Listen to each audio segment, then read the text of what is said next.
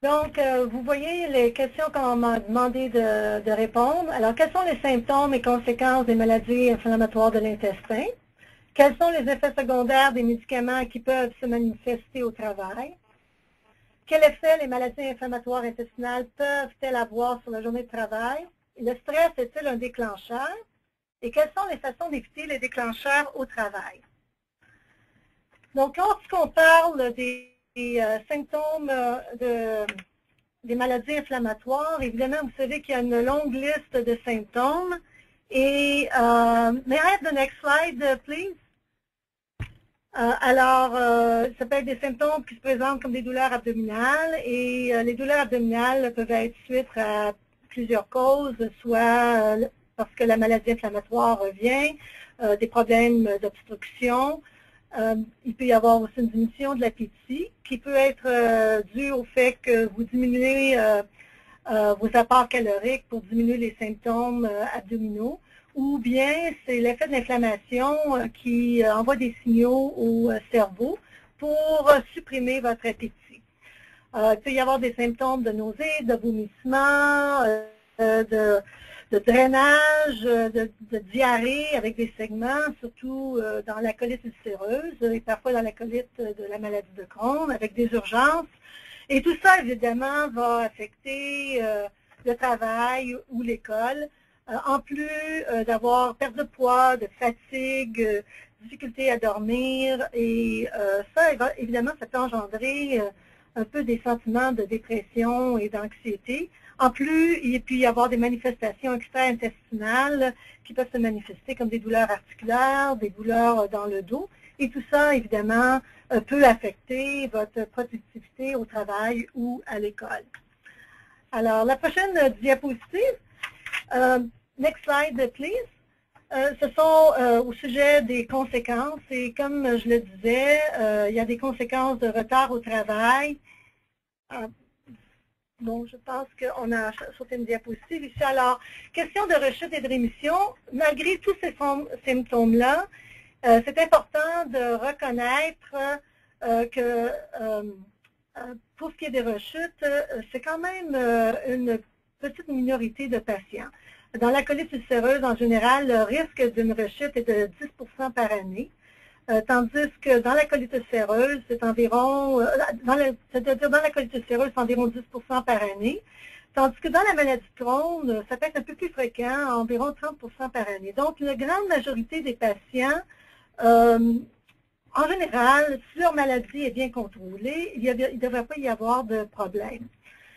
Mais si la maladie n'est pas bien contrôlée, euh, évidemment, il peut y avoir des retards euh, au travail, à l'école, euh, au rendez-vous des médecins. ça peut engendrer des absences, soit des hospitalisations, des tests, ou parce qu'on a besoin de repos à la maison. il peut y avoir des réductions de la concentration, de la productivité. Il y a un problème logistique, évidemment, si vous avez de la diarrhée et des urgences pour euh, aller à la toilette, des inconforts dus aux symptômes. Et tout ça, effectivement, peut avoir des euh, effets sur euh, les relations interpersonnelles ou avec les collègues. et ça peut être plus difficile à l'école ou au travail. Um, may I have the next slide, please?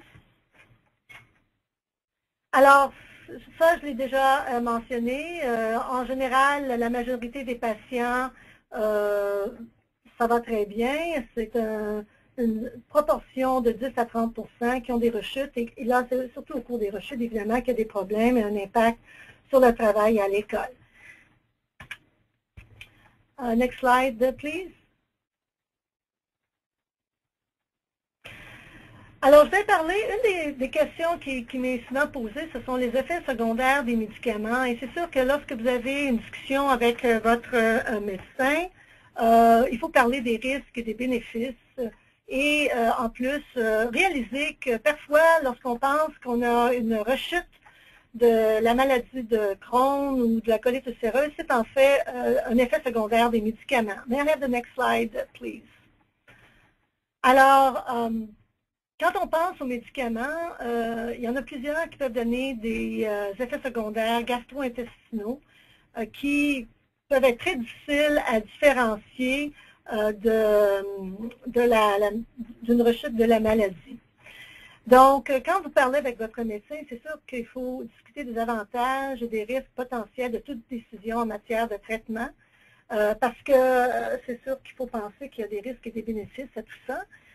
Et puis, il faut aussi réaliser que malgré le fait que certains médicaments ont une longue liste d'effets secondaires.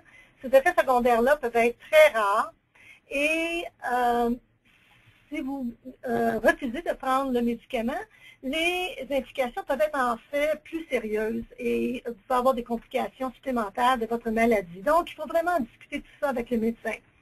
Il existe aussi des médicaments. Quand on pense à des médicaments euh, pour les effets secondaires, des médicaments qui traitent l'inflammation, et il y a aussi des médicaments euh, qui traitent plutôt les symptômes sans avoir un effet sur euh, l'inflammation. Et je vais parler de quelques-uns de ces médicaments-là pour vous donner une idée de, euh, des symptômes que vous pouvez avoir au travail ou à l'école en prenant ces médicaments-là. Donc, nous allons passer à la prochaine diapositive. Next slide. Par exemple, la sulfasolazine est un médicament qu'on donne pour la colite ulcéreuse. Et comme vous le voyez sur la diapositive, euh, elle peut engendrer de nombreux effets euh, secondaires euh, qui sont gastro-intestinaux, comme des nausées, diminution de l'appétit, des vomissements. Et souvent, ce qu'on fait avec ce médicament-là, en plus des 5 salicylates, c'est qu'on les débute à petite dose et on augmente progressivement. et on demande aux patients de prendre cela en mangeant pour diminuer les effets secondaires. Il peut y avoir aussi des réactions allergiques parce qu'il y a une portion sulfa. Donc, euh, les gens qui sont allergiques au sulfa peuvent être vont être allergiques aussi à la sulfasalazine. Euh, ce médicament-là aussi peut causer de l'anémie, donc de la fatigue euh, qui peut être manifestée au travail ou à l'école. Et souvent, on recommande aux patients de, donner de, de prendre de l'acide folique. Et parfois, le médicament aussi peut donner des maux de tête. Léger, ça va, mais si ça devient plus sévère, à ce moment-là, il faut cesser le médicament parce qu'évidemment, ça, va affecter notre qualité de vie. Alors, si on passe à la, on passe à la prochaine diapositive, next slide, euh, je parlais des cinq aminosalicylates. Ceux-là, les effets secondaires sont beaucoup moins nombreux et parce qu'il n'y a pas la portion sulfa. Mais par contre, vous pouvez avoir encore des nausées et des maux de tête. Et c'est pour ça aussi, avec ces médicaments-là, on les débute à des petites doses qu'on augmente progressivement. Très rarement, on peut avoir des complications comme des, une inflammation du pancréas ou un problème rénal. Et le médecin, euh, à tous les ans, devrait vérifier la fonction rénale chez ces patients-là. Next slide. Alors, les prochains euh, médicaments, ce sont euh, les immunosuppresseurs. Et ces médicaments-là sont assez euh, prescrits, soit en, combinaison avec les médicaments biologiques ou seuls. Et peuvent aussi donner des symptômes gastro-intestinaux, mais surtout aussi des problèmes de, de globules rouges et de globules blancs. Et c'est pour ça, surtout avec l'azatioprine ou le 6-MP, 6-mercaptopurine, on doit euh, faire des prises de sang euh, régulièrement, euh, surtout au début, à toutes les deux semaines ou tous les mois, et puis par la suite, ça peut être à tous les trois mois, parce que ça peut affecter les globules blancs et augmenter le risque d'infection ou causer de l'anémie, puis à ce moment-là, on peut avoir de la fatigue. Le méthotrexate, en général, aussi peut donner des symptômes gastro-intestinaux. La cyclosporine n'est pas tellement euh, populaire, mais il y en a certains qui sont sur la cyclosporine pour le colite ulcéreuse et euh, ces patients-là doivent être euh, suivis d'un peu plus près pour éviter des dommages au niveau des reins et du foie. Prochaine diapositive, next slide.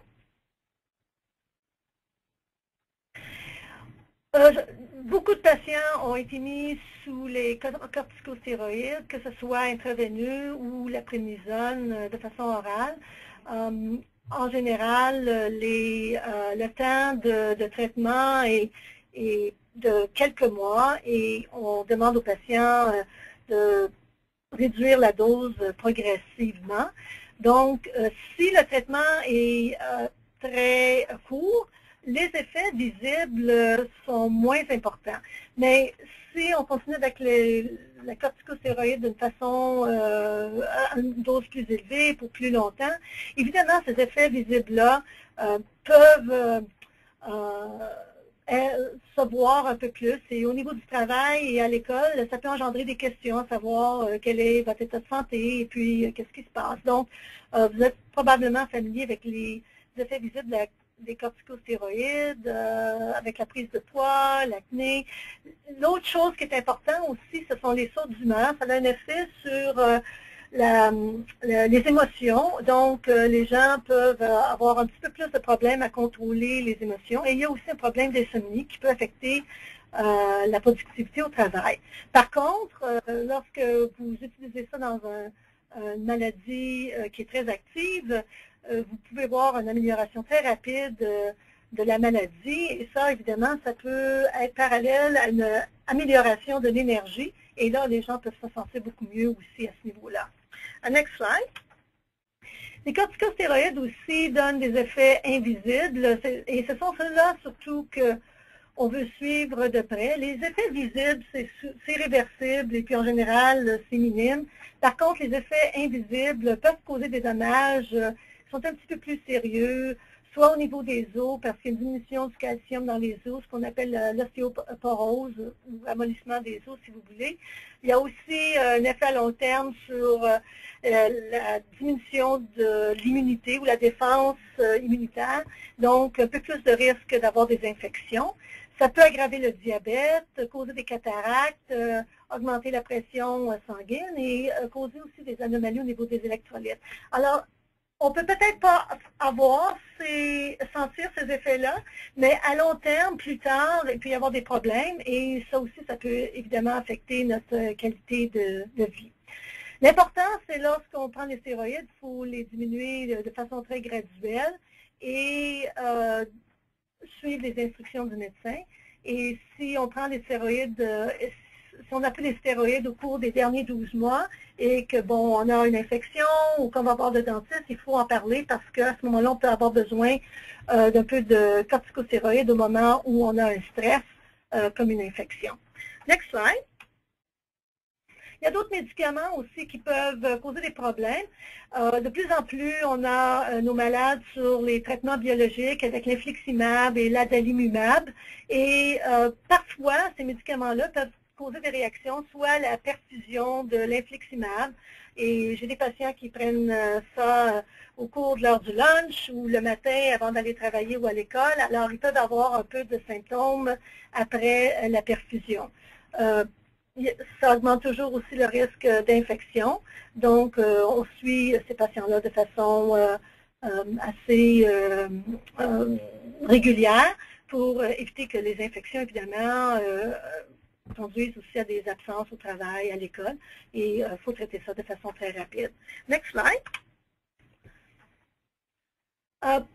Euh, d'autres médicaments qui sont souvent utilisés, qui peuvent donner des problèmes euh, intestinaux, ce sont les antibiotiques et surtout le métronidazole ou flagile, qui peut donner des nausées, des pertes d'appétit, occasionnellement des vomissements, constipation, même diarrhée et un goût métallique.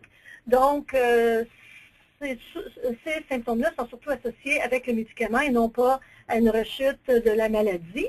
Euh, il y a d'autres effets qui sont moins associés euh, avec le système gastro-intestinal, mais il peut y avoir aussi des maux de tête.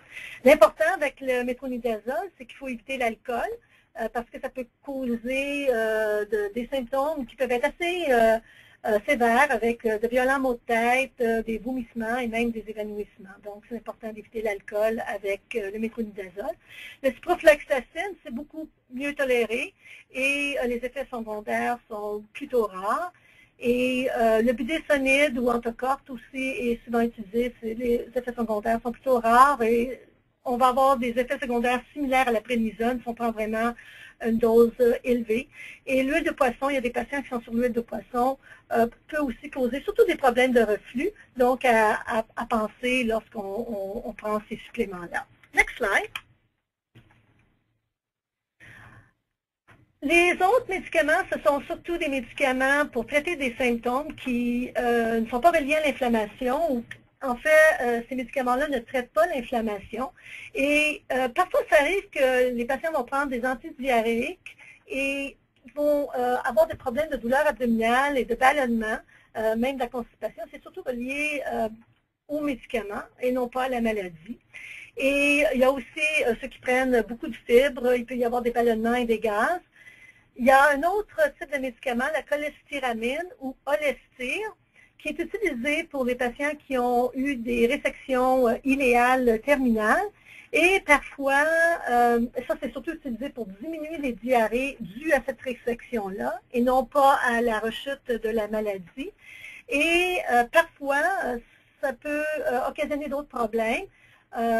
donc, parfois, les diarrhées peuvent devenir plus sévères parce que ça peut affecter l'absorption des graisses ou réduire l'absorption des vitamines et ça peut même poser des vomissements aussi. Alors, il faut penser que ces symptômes-là peuvent être dus aux médicaments et non pas à la rechute de la maladie. Next slide. Alors, euh, très brièvement aussi, certains patients qui prennent des euh, médicaments anti-inflammatoires euh, non stéroïdaux. Et ça, c'est surtout pour les douleurs articulaires ou les maux de dos. Parfois, ça peut exacerber l'inflammation, surtout au niveau du côlon, mais ça peut aussi causer des brûlures d'estomac et euh, du reflux. Donc, euh, ces patients-là, parfois, doivent prendre des antacides ou des médicaments pour réduire la sécrétion d'acide.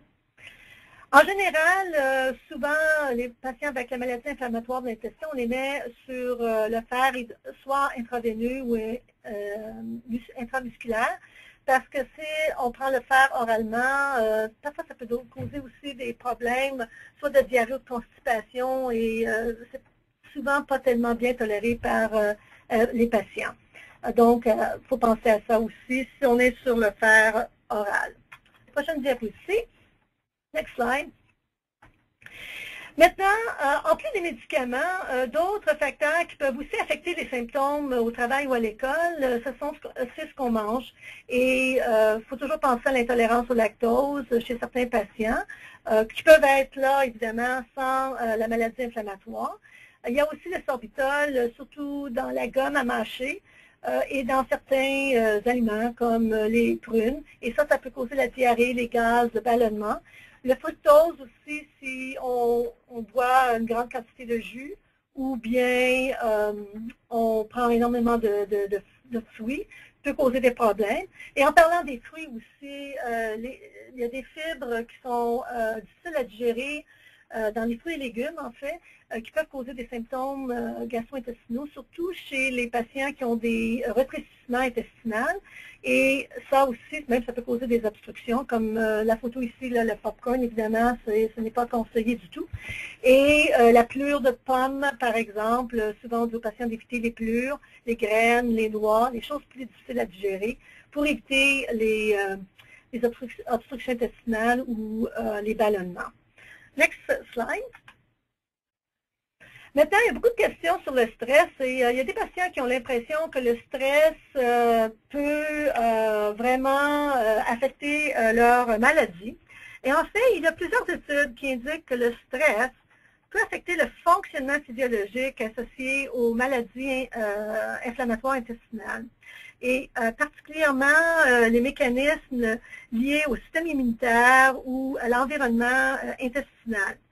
Alors, comme on voit ici sur la diapositive, avec le stress, il y a une stimulation de l'axe cerveau-intestin qui active les mastocytes de la muqueuse intestinale. Et ça, ça va engendrer une augmentation de la perméabilité intestinale, l'activation de certains euh, nerfs intestinaux qu'on appelle neurones afférents. Et ça, ça va augmenter la libération des cytokines. Les cytokines, c'est comme le TNF-alpha. Alors, c'est pour ça que quand vous prenez l'infliximab ou l'adalimumab, ce sont des anti-TNF. Alors, et ça, tout ça va stimuler l'inflammation par une activation ou une dysrégulation du système immunitaire. Alors, il y, a, des évidences, il y a des études qui ont montré que le stress pouvait euh, exacerber les symptômes gastro-intestinaux, mais il n'y a pas d'indication que le stress en lui-même va déclencher le développement d'une maladie euh, intestinale euh, inflammatoire. Euh, next slide, please.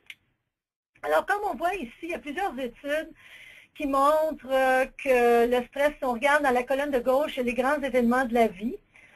et il y a quelques études avec des designs différents qui montrent qu'une humeur dépressive, par exemple, va augmenter les symptômes de la maladie gastro-intestinale, mais n'engendrera pas de poussée d'augmentation d'inflammation. Par contre, d'autres études ont montré qu'il y avait une association. Deux fois plus de cas de récidive et d'épisodes prolongés de maladies inflammatoires ou que des événements stressants récents ont permis de prédire la survenue de poussées actives euh, antérieures chez des, patients avec une colite ulcéreuse, par exemple, dont une autre étude n'a montré aucun lien. Donc, ça dépend vraiment de la population des patients et la durée des études et euh, aussi de la méthode qui a été utilisée. Si on regarde les éléments stressants quotidiens, il y a aussi des études qui montrent que les, les tracas de chaque jour, par exemple, peut avoir euh, un effet soit sur les symptômes, sans nécessairement augmenter l'inflammation, ou ça peut avoir un effet sur l'activité de la maladie. Euh, et ça a été démontré même jusqu'à 50% des patients. Le stress peut être perçu aussi comme étant plus grand chez les patients qui ont déjà des anomalies inflammatoires au niveau de la muqueuse. Et ça peut même tripler le risque de récidive de maladies inflammatoires. Donc, ça peut, dans ce sens-là, aggraver la maladie. Si on regarde à la prochaine diapositive, next slide, euh, il y a d'autres études aussi qui ont montré qu'il y avait une association entre la maladie inflammatoire de l'intestin et les troubles psychologiques ou les troubles psychiatriques. Euh, maintenant, l'un peut vraiment influencer l'autre, c'est-à-dire que il y a déjà une prédisposition de problèmes psychiatriques, ça peut augmenter les symptômes de la maladie inflammatoire intestinale. Et euh, aussi, ça peut augmenter euh, probablement l'activité de la maladie, qui est affectée par le degré de détresse psychologique, d'anxiété ou de dépression. Aussi, de, façon renversée, c'est sûr que s'il y a une maladie inflammatoire intestinale qui est difficile à contrôler, ça aussi, évidemment, il y a des implications où ça va augmenter les problèmes de, dépression ou d'anxiété parce que euh, on a une maladie qui, est plus active. Et il y a des études aussi qui ont montré que lorsque la maladie était améliorée et que le patient redevenait euh, sans symptômes mais se sentait bien, à ce moment-là, ces symptômes-là, psychologiques ou psychiatriques, s'amélioraient en même temps. Donc, euh, vraiment, il y a une interaction de l'un sur l'autre qui est importante à mentionner. Next slide. Alors, Lorsqu'on regarde, il y a, plusieurs, euh, euh, outils euh, qui évaluent la qualité de vie chez les patients qui ont des maladies inflammatoires intestinales. Et ça prend vraiment en conséquence non seulement les symptômes intestinaux, comme on le voit ici, et aussi les symptômes systémiques, c'est-à-dire la fatigue et puis les malaises généralisés, mais aussi ça, ça, euh, aussi ça regarde à la fonction émotionnelle des patients parce que c'est important dans la qualité de vie des patients qui ont des maladies inflammatoires intestinales. Donc, frustration, dépression, découragement, euh, peur de ne pas trouver des toilettes à temps, etc. Euh, ça va aussi regarder à l'handicap social, évaluer ça, en plus de l'handicap fonctionnel, c'est-à-dire l'impossibilité d'être présent au travail ou à l'école de manière régulière, et tout ça, vraiment, va affecter la qualité de vie des patients qui ont des maladies inflammatoires intestinales. Next slide. Alors, ces choses-là sont importantes et il faut trouver des, stratégies, pour éviter le stress ou réduire le stress. Et euh, je ne suis pas psychologue, mais il y a beaucoup de, disons, de, littérature à ce sujet-là qui est euh, pas nécessairement spécifique aux, conditions de maladies inflammatoires intestinales, mais par exemple, des stratégies qui sont euh, généralement euh, suggérées, c'est des résolutions de problèmes, avoir une liste de problèmes ou des petits problèmes à tous les jours, et puis on résout un problème à la fois avec une liste, et psychologiquement, on se sent mieux lorsqu'on voit qu'on a au moins résolu un ou deux problèmes, que ce soit de payer une facture ou de faire un appel. Il euh, faut porter aussi plus d'attention sur les objectifs de vie importants, euh, question de qualité de vie, qu'est-ce qui est important, euh, sur la, santé et des choses qui ne sont pas vraiment tous les jours, mais plutôt à long terme. la gestion de, sa propre santé, c'est aussi important. Question d'alimentation, d'exercice et de repos. Les patients euh, ont un contrôle là-dessus et se sentent mieux en ayant un contrôle sur euh, leur euh, vie quotidienne. Le soutien social est extrêmement important et aussi d'accepter qu'il y a des moments où on a des symptômes et que c'est une rechute et qu'il faut vraiment ajuster euh, nos, euh, notre travail ou l'école en conséquence pendant le moment où on a des rechutes. Les stratégies vraiment à éviter, euh, selon le psychologue, c'est le retrait des activités importantes, c'est-à-dire vous vous isolez complètement, réduction de la participation sociale, l'utilisation des substances, l'alcool et surtout le tabac, euh, fumer, c'est euh, vraiment euh, peut vraiment avoir un effet sévère sur la maladie. Et évidemment, les réflexions catastrophiques où on est vraiment déprimé, puis que là, tout est amplifié. Il faut essayer d'éviter ces moments-là le plus possible. Next slide. Alors, euh, il y a plusieurs euh, travaux qui ont été faits à ce niveau-là qui, ont montré que les patients qui étaient euh, vraiment isolés, donc un handicap social inférieur à un certain point, ça peut être nocif pour la santé. Puis ça, c'est pas seulement pour les maladies inflammatoires intestinales, c'est pour plusieurs sortes de maladies. Donc, le soutien social est, est, vraiment essentiel dans le cadre de la morbidité et est important aussi pour la récupération, que ce soit d'une maladie ou d'une blessure, et aussi pour le maintien d'une bonne santé. Donc, ce n'est pas euh, nécessairement spécifique aux maladies inflammatoires intestinales, mais c'est très important euh, pour les patients qui, souffrent des maladies inflammatoires euh, intestinales. Donc, si on a un soutien social, ça peut absorber le stress, influencer l'état affectif et changer le comportement. Puis, il y a des études qui ont montré qu'il y avait une satisfaction accrue lorsqu'il y avait un bon soutien de la famille, des amis, et qu'il y avait plus d'associations positives avec la qualité de vie lorsqu'on avait vraiment euh, un, bon milieu social et qu'on avait une bonne interaction. Next slide. Alors, euh, ici, c'est encore euh, au niveau du stress et l'inquiétude des patients. Évidemment, l'anxiété à l'égard de la santé n'a pas été vraiment bien étudiée au niveau des MII, mais ça a été démontré quand même que les patients qui ont, euh, qui ont une maladie très active souffrent beaucoup plus d'anxiété à l'égard de leur santé que les patients qui ont une maladie qui n'est pas active, qui sont vraiment en rémission de façon euh, durable. Donc, euh, il est essentiel que le patient comprenne les problèmes de santé auxquels il est confronté afin de permettre de bien déterminer sa réaction à la maladie et sa réponse au traitement.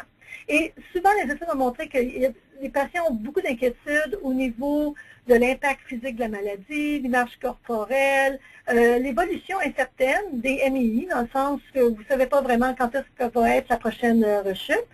Euh, aussi, le fait que vous ayez un sac de stomie ou pas, les besoins d'intervention chirurgicale, parfois aussi stigmatisation associée à la maladie, ça va affecter les relations interpersonnelles chez certains patients, les effets indésirables des médicaments, comme on a parlé, ça va affecter le degré d'énergie, la vie sexuelle, l'intimité, tout ça vraiment est très important. Next slide.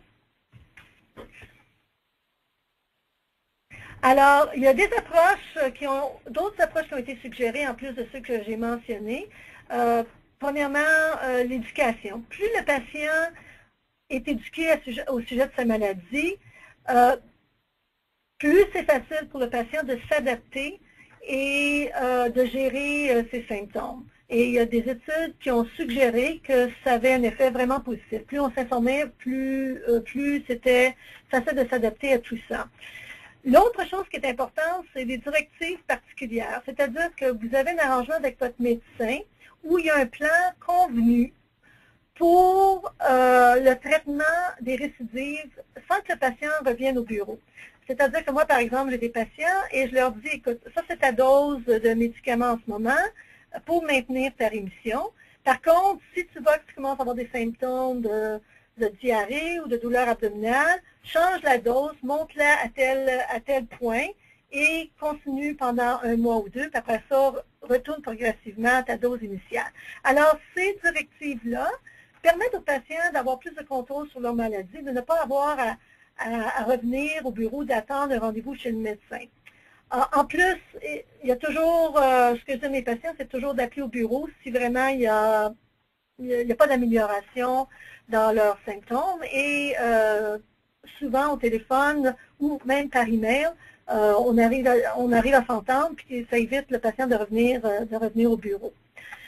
Pour ce qui est d'autres, comme le dépistage de la détresse psychologique, c'est-à-dire si vraiment ça, ça n'aide pas, et puis là, vraiment, il y a, un problème bon, d'activité de, la maladie, mais aussi d'anxiété, parce qu'on parle de stress, il peut, ça, peut être souvent, peut-être le patient va avoir besoin d'une thérapie particulière à ce niveau-là. Et souvent, ça, c'est adressé par le médecin de famille qui peut mettre le patient sur un, médicament pour réduire l'anxiété ou euh, réduire la dépression. Et euh, sinon, bien, il peut y avoir aussi euh, le, besoin de voir un psychologue ou un psychiatre. Next slide. Bon, quels sont les facteurs, quelles sont les façons d'éviter les déclencheurs au travail? Euh, bon, en parlant du stress, euh, plus on planifie sa semaine ou sa journée de travail et plus on évite les surprises, mieux c'est pour le stress. C'est-à-dire que vous savez ce qui vous attend au travail, il n'y a pas vraiment de surprise et vous en, vous, en mettez pas trop sur le dos. Donc, euh, pas une charge trop lourde de travail. Et cela, évidemment, dépend si vous êtes en rémission ou en rechute et vous ajustez selon vos symptômes. Évitez les montagnes de papier sur le bureau. C'est mieux d'avoir un bureau clair, les montagnes de papier en arrière et vous vous adresser à un problème à la fois euh, sur votre bureau si vous avez un travail de bureau, par exemple. Euh, vous pouvez euh, sentir que si vraiment la maladie a un effet sur vos symptômes au travail, c'est parfois plus facile d'en parler aux collègues ou à l'employeur. Alors les gens vont mieux comprendre à ce moment-là ce qui se passe. Et euh, vous avez besoin évidemment de plus vous reposer à la maison. Le sommeil est très important. Vous savez euh, probablement euh, tout ça. next slide. comment discuter du sujet? Je parlais justement que parler à vos collègues pouvait améliorer les choses si vraiment vous êtes en rechute, ça affecte vraiment votre performance au travail. évidemment, d'en discuter avec les collègues, ça dépend de, l'activité de votre maladie. Moi, j'ai des patients qui sont en rémission depuis plusieurs années. Si vous êtes vraiment en rémission, puis vraiment tout va bien, ce n'est pas nécessaire euh, vraiment d'en parler, parce que ça n'influence pas vraiment votre performance au travail. Cependant, si vous avez une réactivation de la maladie, puis là vraiment ça affecte euh, le travail, euh, ou vous avez besoin d'avoir euh, plus d'arrangements logistiques, par exemple, d'avoir un bureau plus près des toilettes et ces choses-là, bien là, ça vaut la peine d'en parler. Évidemment, votre approche va dépendre de votre personnalité et de l'interaction que vous avez avec les collègues. Si vous avez la présence, comme je disais, ou l'absence de symptômes. Et aussi parfois, euh, l'impact de la maladie sur l'image corporelle. Vous sentez vraiment, là, vous avez la zone, les gens commencent à vous poser des questions. Euh, comme c'est arrivé avec le ministre des Finances, euh, M. Flaherty. Donc, euh, à ce moment-là, parfois, c'est préférable de, dire ce qui se passe et ça évite les questions qui se répètent tout le temps. alors, et puis aussi, ça dépend du type de travail. S'il y en a qui travaillent à la maison ou qui ont, travaillent à temps partiel et ça n'affecte pas vraiment leur interaction avec les collègues, à ce moment-là, il y a des gens qui n'ont pas besoin de dire qu'ils ont la maladie inflammatoire intestinale. Next slide. Euh, comment présenter le fait que vous souffrez d'une invalidité à votre employeur?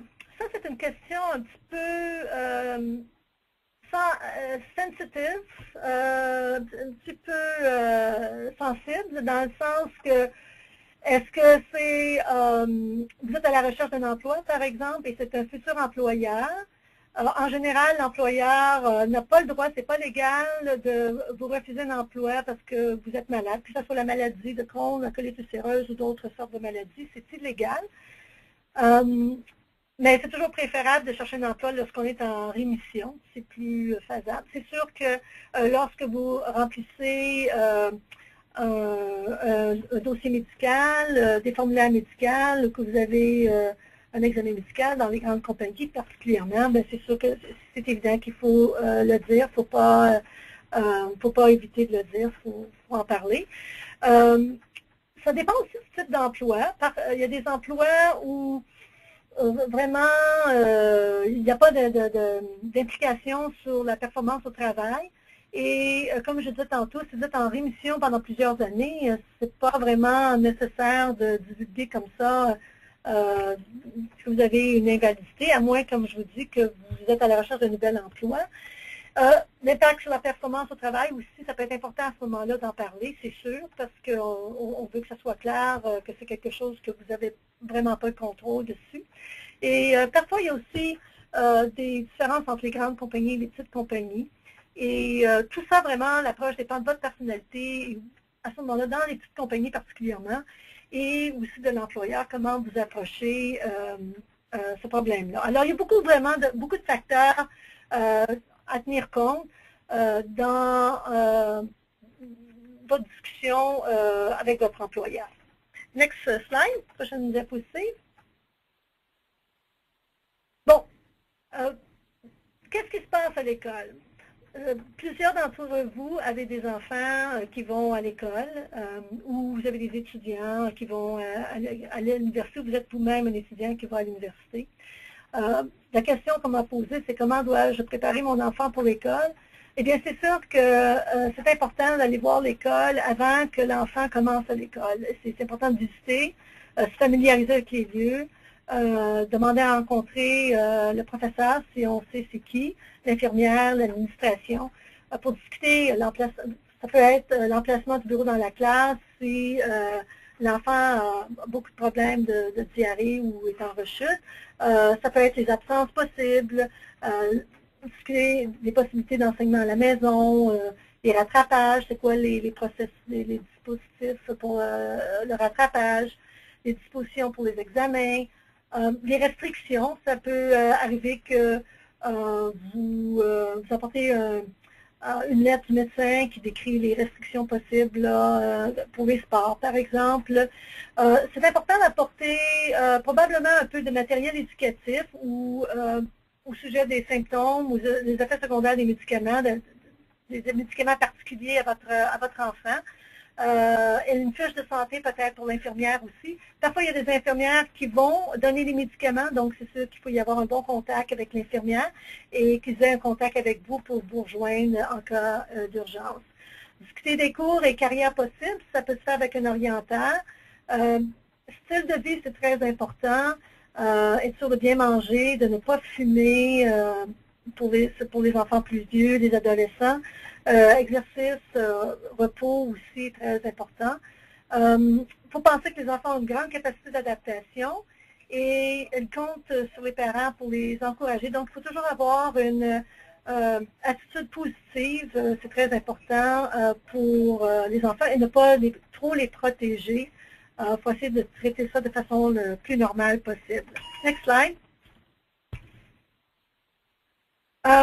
Comment un enfant devrait-il parler de sa maladie inflammatoire à ses amis? Bien évidemment, ça dépend de l'âge de l'enfant, de sa personnalité. Euh, est-ce que l'enfant est en rémission? Puis comme je vous dis, il y a des enfants qui sont en rémission pendant plusieurs années, donc ce n'est pas nécessairement nécessaire d'en parler à, ce moment-là. Ou en rechute, euh, en parler un peu plus pour que les gens comprennent ce qui se passe. Euh, ça dépend aussi si les médicaments ont un effet, comme la prénisone, significatif sur l'image corporelle. Ça peut est important à l'enfant d'expliquer, euh, ou aux parents d'expliquer euh, qu'est-ce qui se passe.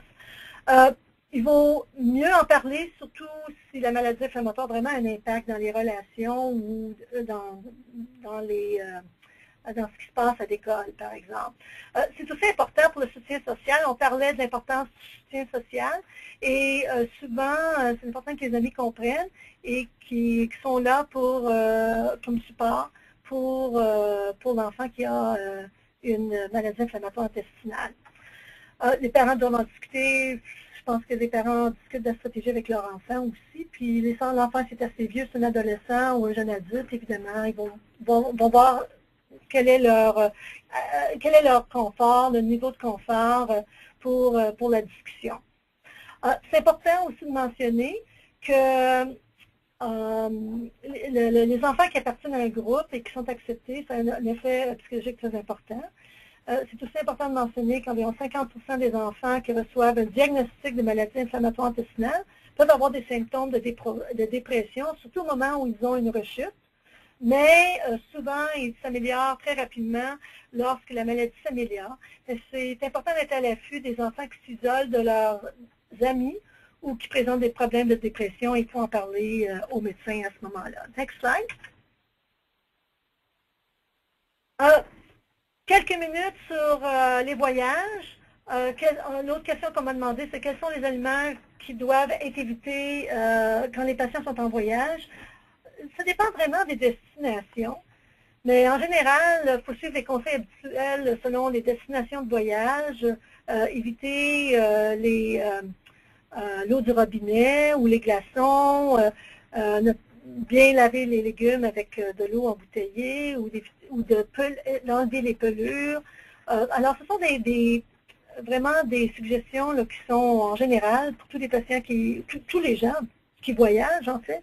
Et il faut suivre son régime alimentaire habituel. Euh, quel que soit le régime spécifique sur lequel vous êtes euh, euh, dépendant de votre maladie. Les aliments sécuritaires, c'est sûr que ce sont les aliments qui sont bien cuits, l'eau bouillie ou embouteillée ou les boissons embouteillées. Prochaine diapositive, next slide. D'autres considérations, oups, juste la, c'est ça, previous, merci pour ce qui est des médicaments, il faut euh, apporter deux fois plus de médicaments que nécessaire parce que vous ne savez jamais si vous allez être volé ou vous allez les perdre. Donc, c'est mieux d'avoir deux fois plus de médicaments, les mettre dans des endroits différents. Apporter une lettre du médecin décrivant votre maladie, ça va aider. Avec la liste des médicaments, avec la liste des médicaments et leur nom générique. Parce que d'un pays à l'autre, les noms commerciaux changent, mais les noms génériques ne changent pas souscrire à une assurance voyage, c'est très important. Mettre à jour vos vaccinations. Et ceux qui ont des immunosuppresseurs ou des euh, médicaments biologiques, euh, vous devez vraiment discuter avec votre médecin parce que des, des, vaccinations que vous ne pourrez pas recevoir lorsque vous êtes sous ces médicaments-là, et ce sont des vaccinations où vous avez des virus vivants. Donc, il euh, faut, discuter avec soit la clinique de voyage ou votre médecin. Au Canada, euh, la Fondation euh, a l'application mobile SAFRES pour repérer les toilettes les plus proches, donc si vous voyagez au Canada. Les médicaments et les accessoires nécessaires dans le bagage à main, en cas de perte de bagages enregistré, donc quand vous partez en avion, les médicaments et les accessoires. Évidemment, rien qui coupe ou pas de ciseaux, parce que ça, c'est vraiment, vous allez vous faire enlever ça, même si vous, avez, vous êtes un patient. Les médicaments doivent se trouver dans les contenants étiquetés d'origine. Euh, avec les noms, on a parlé du nom du médecin, nom générique. Euh, réserver un siège près des toilettes et indiquer si un repas spécial est nécessaire. Je sais qu'il y avait une question euh, lorsqu'on demande de boucler les ceintures, que vous avez besoin d'y aller. vous demandez à l'hôtesse de l'air, il n'y a pas de problème. Ça m'est déjà arrivé, puis j'ai pas de maladie inflammatoire intestinale. J'ai demandé d'aller aux, toilettes. puis, à moins qu'on soit vraiment en train d'atterrir, là, ça peut être un problème mais euh, vous, le demandez à l'hôtesse de l'air. En voiture, prévoir un itinéraire en fonction euh, des, meilleurs endroits euh, où arrêter pour les toilettes, et puis apporter votre paquet de toilettes au cas où, ça c'est aussi important. Next slide. Quelles considérations spéciales euh, doivent être prises en compte pour les personnes qui font des voyages d'aventure?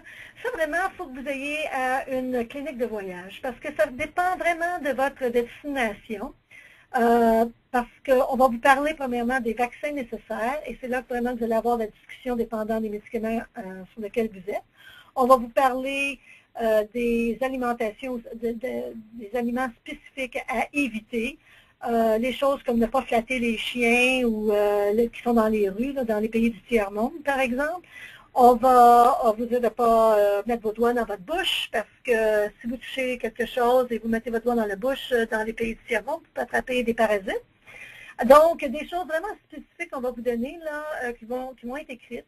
Et aussi, ça va vous aider pour votre trousse médicale d'urgence où évidemment vous allez apporter vos antidiarrhéiques, des antacides, du bismuth, là, pepto-bismol. Et euh, moi, ce que je fais avec euh, certains de mes patients, euh, je, les appelle mes Indiana Jones, c'est qu'il y en a qui voyagent pas mal dans la jungle, puis les pays du tiers-monde. je leur fais une liste d'instructions où est-ce que je leur dis exactement où prendre des antibiotiques et euh, d'essayer une étape 1, étape 2, étape 3, et puis je leur donne les prescriptions. Alors, ils apportent ça dans leur trousse médicale, puis ils ont les instructions quand est-ce les prendre. Puis là, vraiment, si ça ne fonctionne pas, je leur dis, ben là, tu vas voir euh, euh, une clinique si c'est possible, ou tu arrives au village. Mais au moins, pendant quelques jours, ils ont des médicaments qui, couvrent les infections et qui après bon, peuvent couvrir aussi une rechute de leur maladie inflammatoire. Donc, ça, c'est à discuter aussi avec les médecins. Next slide. Euh, on a presque terminé. Quels facteurs euh, doit-on prendre en compte pour les déplacements quotidiens entre la maison et le lieu de travail? Je pense qu'il y en a plusieurs d'entre vous déjà, euh, qui, sont déjà, qui sont déjà au courant de la meilleure stratégie. C'est sûr que plus, plus vous pouvez prévoir, mieux c'est. Donc, si vous prévoyez un itinéraire, vous le prévoyez en, fonction des meilleurs endroits pour aller aux toilettes. Euh, on a parlé de paquet de toilettes. Euh, vous pouvez même apporter une couche de protection juste pour vous rendre au travail, puis après ça, vous l'enlevez. Euh, vous prenez des antidiarrhéiques avant de partir. Si vraiment votre problème, ce sont des diarrhées ou de l'urgence, ou vraiment, vous ne savez jamais quand est-ce que ça va vous prendre. Et dans les antidiarrhéiques, c'est ça que c'est préférable de prendre quelque chose comme euh, l'opéramide ou Imodium. Euh, ceux qui sont à base de narcotiques comme euh, le motil, codéine, c'est ça qui peuvent avoir un peu plus d'effets secondaires. alors, on essaie d'éviter ça. Et puis, vous prenez vos, repas en fonction de votre itinéraire. si vous prenez vos repas le matin, il y a le cycle circadien qui va stimuler vos, euh, vos intestins et vous allez avoir plusieurs euh, selles le matin. Donc, c'est peut-être préférable des fois d'attendre d'arriver au bureau pour manger ou vous organisez vos repas en conséquence pour minimiser les, euh, les lorsque vous êtes à l'extérieur de la maison et vous mangez plus à la maison. Mais en, en disant ça, c'est sûr qu'il faut avoir quand même une alimentation équilibrée. Next slide. Alors, c'est tout. Euh, j'ai ici mis euh, des références. Euh, un livre qui s'appelle Crohn's Disease and Ulcerative Colitis, je pense qu'il est traduit en français, et ça a été prouvé par l'Association médicale canadienne. Et il y a aussi le numéro 3, là, qui est plus pour les patients, et on me l'a suggéré par la Fondation, La maladie m'a guéri, vivre avec la maladie de Crohn. C'est sûr qu'il y a plusieurs livres sur euh, les maladies inflammatoires intestinales. La référence numéro 2, c'est plus pour les médecins, mais euh, c'est de là que j'ai pris euh, tous mes statistiques. Alors, je vous remercie de votre attention et je, je crois qu'on retourne à Christiane. Oui, donc merci beaucoup Joanne, c'était très très intéressant. Donc, on, j'ai maintenant le contrôle pour changer les diapos normalement. Uh, so, uh, next slide, please. Yeah, OK. Donc, euh, un enregistrement de ce séminaire pourrait être téléchargé de notre site web à l'adresse fcmii.ca slash euh, séminaire. La FCMI organise également des colloques éducatifs d'un bout à l'autre du pays tous les mois de novembre. Alors, assurez-vous de visiter le fcmii.ca slash colloque pour trouver le colloque éducatif le plus près de chez vous. Je vous invite également à visiter votre magasin local Les Aliments M&M samedi le 11 mai prochain pour la journée du barbecue de bienfaisance. Plus de 450 magasins Aliments M&M dans l'ensemble du pays allumeront leur grill afin d'amasser des fonds pour la Fondation. Pour un don minimum de 3 vous recevrez un hot dog ou un hamburger une boisson et un sac de croustilles. Les recettes de la journée du barbecue de bienfaisance appuieront les initiatives de recherche sur la maladie de Crohn et la colite ulcéreuse. N'oubliez pas de vous joindre à nous le dimanche 9 juin prochain pour la randonnée Gotti en marche. Des milliers de Canadiens dans près de 70 communautés du pays marcheront ensemble pour recueillir des fonds afin de trouver un traitement curatif contre la maladie de Crohn et la colite ulcéreuse. Visitez le site gottiesenmarche.ca pour participer, avancer des fonds, faire un don ou devenir bénévole. Encore une fois, un gros merci de vous être joint à nous et j'espère que nous avons répondu à quelques questions avec la présentation du Dr Allard. Mais on a reçu quelques questions aussi pendant la présentation dans la, fenêtre euh, qui était euh, sur votre écran. Euh, next slide. OK. Donc, euh, la première question qu'on a reçue, euh, pour docteur. Alors, c'est quelqu'un qui nous dit, je vis depuis plus de 12 ans euh, avec ce problème. J'ai constaté que l'alcool, sur toutes ses formes, ainsi que les liqueurs avec gaz carbonique, peuvent causer une récidive, même consommée en petite quantité. pourquoi, en fait, que ces breuvages-là pourraient causer une, une récidive? Ça, c'est une bonne question, mais en fait, il n'y a pas euh, vraiment de mécanisme euh, qui va euh, expliquer ça. Et en fait, je, pourrais dire que ça dépend, même si vous dites en petite quantité l'alcool, l'alcool en elle-même peut causer de la diarrhée sans nécessairement causer une augmentation de l'inflammation. dans les liqueurs gazeuses,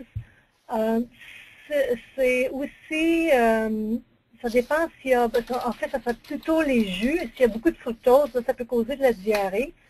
Euh, dans les euh, liqueurs, s'il y a des, euh, beaucoup je pourrais dire, d'électrolytes qui peuvent parfois contribuer à la diarrhée, mais il n'y a pas vraiment d'ingrédients dans l'alcool ou dans les liqueurs gazeuses qui vont vraiment avoir un effet sur l'inflammation, c'est-à-dire stimuler le système immunitaire pour produire de l'inflammation. Donc, les symptômes que vous avez sont peut-être plus reliés à de l'intolérance à l'alcool ou aux boissons gazeuses, certaines boissons gazeuses en tout cas, euh, plutôt que d'avoir de l'effet de ces boissons-là sur l'inflammation. OK. Donc, euh, merci. Euh, on a une deuxième question qui dit, euh, ma question est très de base, doit-on avoir obligatoirement une coloscopie pour diagnostiquer une MII? pas vraiment. C'est-à-dire que les patients qui ont une maladie de Crohn, par exemple, ça peut affecter seulement le petit intestin. Et à ce moment-là, le diagnostic peut se faire en prenant euh, un repas d'arité qui va, ou un CT scan, par exemple, qui va permettre euh, de voir le petit intestin et de voir s'il y a de l'inflammation au niveau du, petit intestin. Cependant, en tant que gastroentérologue, on, aime bien compléter l'investigation avec une colonoscopie pour voir s'il y a aussi d'évidence de maladies inflammatoires dans le côlon. Euh, parce que ça, ça va nous permettre parfois de décider euh, de l'approche euh, au niveau des médicaments. Et aussi, ça peut, on peut mieux comprendre les symptômes lorsqu'il y a des rechutes. Si on sait qu'il y a aussi une composante inflammatoire au niveau du côlon. Donc, Brièvement, la question, on n'a pas besoin de colonoscopie pour faire le diagnostic. Ça peut se faire avec la radiologie, puis des prises de sang et euh, la, manifestation euh, clinique, euh, quand les patients se présentent avec des symptômes. Il faut, aussi exclure les infections qui parfois peuvent se présenter comme des maladies inflammatoires, mais quand on traite l'infection, après ça, tout revient normal. OK. Bon, on a une euh, dernière question euh, qui dit euh, Existe-t-il des études démontrant que le fait de fumer des cigarettes ou de la marijuana a une incidence sur la maladie de Crohn? En tant que parent, j'essaie de démontrer à mon fils que la cigarette et la marijuana, tout comme l'abus d'alcool, n'aident pas sa situation. C'est ça. Alors, ça, c'est une question très, très importante. Et s'il y a un message important de ce webinaire, c'est vraiment euh, de cesser de fumer. Parce a des études qui ont montré clairement, clairement, que le tabac, que ce soit la marijuana, peut-être la marijuana, ça, dépend de question de nombre de cigarettes par jour. Alors c'est sûr qu'on a moins tendance à fumer de marijuana en question de nombre de cigarettes par jour comparé euh, aux cigarettes ordinaires, mais tout de même, n'importe quel tabac va augmenter la sévérité de la maladie, en plus d'augmenter le nombre d'hospitalisations et le nombre de chirurgies. Donc, il est clair qu'il faut arrêter de fumer dans la maladie de Crohn. La relation avec la colite ulcéreuse est différente, euh, dans le sens que euh, le tabac euh, n'affecte pas de façon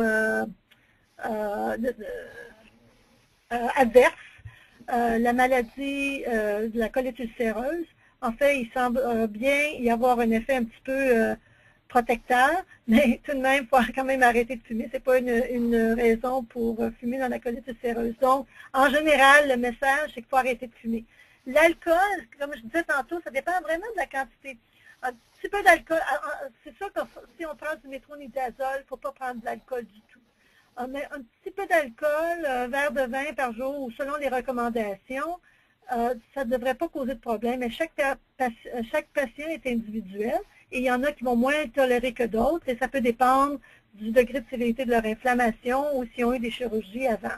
Mais euh, l'abus d'alcool, c'est sûr, ça aussi, ça, va aggraver des symptômes.